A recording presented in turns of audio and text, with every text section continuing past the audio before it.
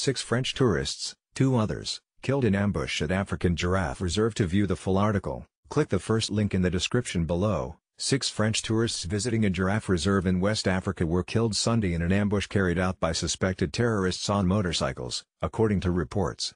Two others were also killed in the bloody attack a local tour guide and a driver. It happened in Niger in the Koure Giraffe Reserve in Niger. The region attracts foreign tourists who want to see the last herds of giraffe in West Africa, according to the BBC. But the area is also home to several militant groups including Boko Haram, according to the BBC. Other terror groups that operate in Koure have links to Al-Qaeda and the Islamic State. Massive dust storm engulfs capital city of Niger, residents describe terrifying sight Agence France-Presse confirmed the attack after speaking to the governor of the Tillaberi region Tidjani Ibrahim Katiella. We are managing the situation, we will give more information later, he said. The news outlet also reported interviewing a source with ties to the Niger government who said that most of the victims had been shot.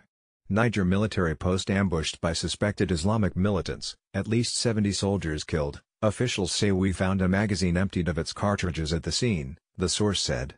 We do not know the identity of the attackers but they came on motorcycles through the bush and waited for the arrival of the tourists. The source told AFP tourists were riding in a vehicle that belonged to the French humanitarian organization ACTED. Photos showed bodies lying near a torched off-road vehicle, which had bullet holes in its rear window, the AFP reported. Click here for the Fox News The government in January sought to curb the movements of jihadists by banning motorcycles. Six French tourists visiting a giraffe reserve in West Africa were killed Sunday in an ambush carried out by suspected terrorists on motorcycles. According to reports two others were also killed in the bloody attack a local tour guide and a driver to view the full article, click the first link in the description below.